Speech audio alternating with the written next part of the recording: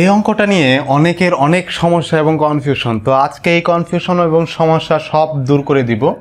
তো এই অঙ্কটা অনেক সময়ই আসে আমাদের চোখের সামনে, বই পড়তে সময়। তো এই অঙ্কটা আজকে করব।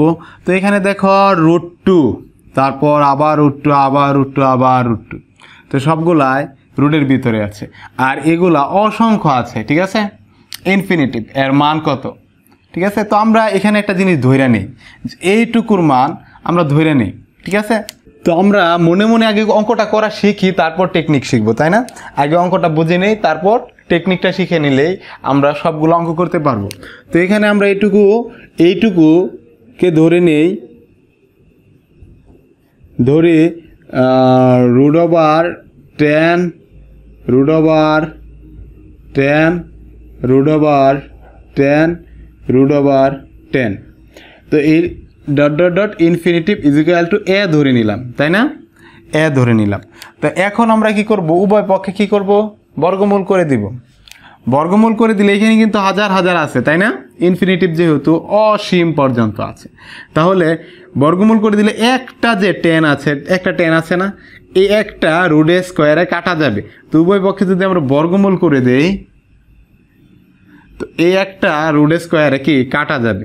আর এখানে কি হয়ে যাবে? টেন স্কোয়ার হয়ে যাবে। আর এখানে থাকবে টেন বাকি থাকবে ten ten ten ten dot dot dot infinity এখানে হয়ে যাবে স্কোয়ার তো এখানে অনেকে প্রশ্ন করতে পারে যে এখানেও ছিল চারটা আর আমিও লিখছি চারটা।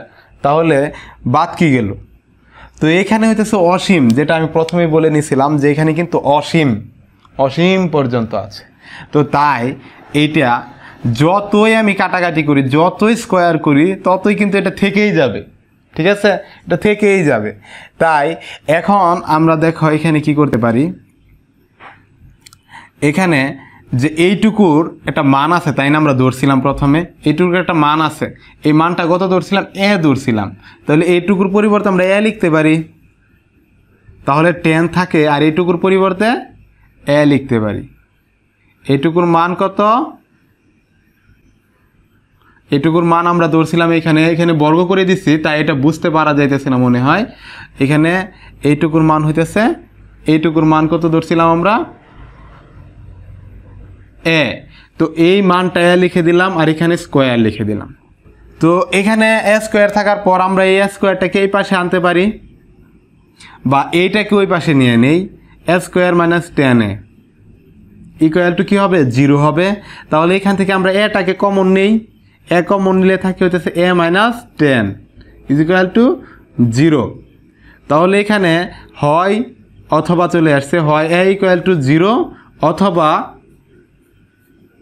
a minus ten is equal to zero বা এ ইকুয়াল টু টেন তাহলে এ এর দুইটা মান চলে আসছে।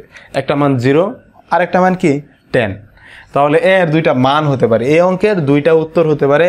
হয় জিরো হবে অথবা টেন হবে।